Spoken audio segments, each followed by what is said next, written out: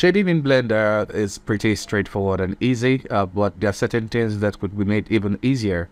So that's why I created this add-on that will help make your life easy. So this add-on I'm giving it out for free, the link being in description in case you're interested in downloading it. But what I'm going to be doing in this video is showing you how to set it up and um, some basic things you need to know about it. So once you've downloaded it and you're met with this page, the instant image maker, uh, you just go ahead and download it and it should bring you to a page that looks like this. So this is a Python script um, that will run the add-on. So you just go ahead and save it. Uh, if you have it, uh, this is what you get.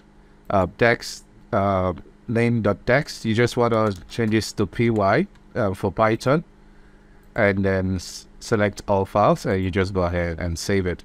So here in Blender, we can go ahead and enable it so like an add-on, I save it to my desktop. So you just select it and you enable it. So we'll save the preference and you'll find it located here in the instant image maker um, panel. So it's very, the UI is pretty simple and straightforward. It's kind of just an ease of life tool, which I use. Uh, so what you have here a bunch of passes, which are based off the geometry data and you can also find that here in the bake. So this allows you to quickly bake your uh, bake informations. Uh, unlike the default way, you have to do a lot of setup, but this kind of takes that all away for you.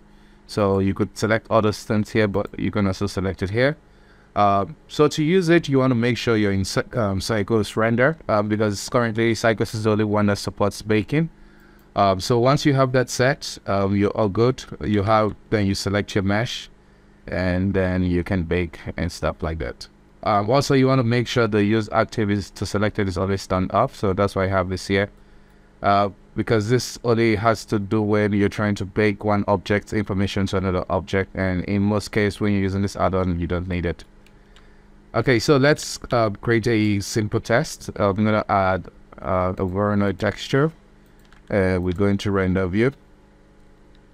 So this is what we see and if we do some manipulation we'll just add a color ramp to create something custom. And we'll also add a mist color.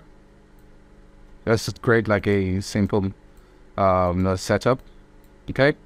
Um, if you're happy with this and you want to kind of collapse all the node and bake it out to an image uh, this is where this add-on shines.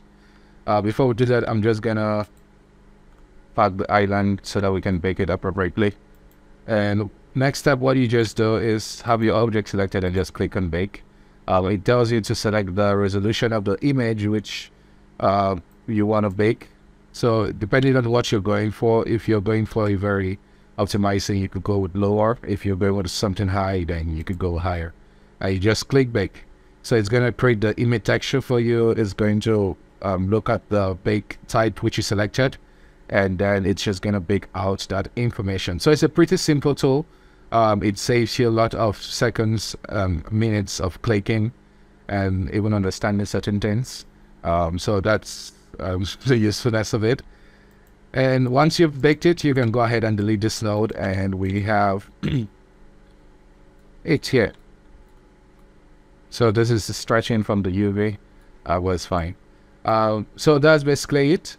Um, you also have this nice node uh, because currently Blender doesn't have like a specific uh, specified node for blurring uh, objects, which I tend to use a lot.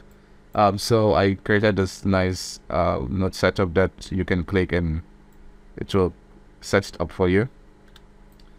Um, so you just you can blur things easily and yeah you have it.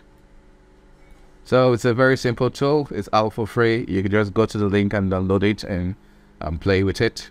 So importantly, you set the cycles and have your object selected. That's the only rule for it. Uh, a, a cool secret, this this tool was actually uh, created with AI.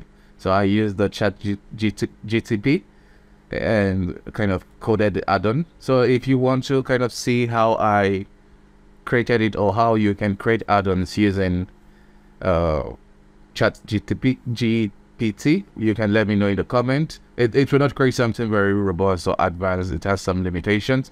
uh, but there are some workarounds which I kind of use to combine a lot of different uh, functions into one add-on.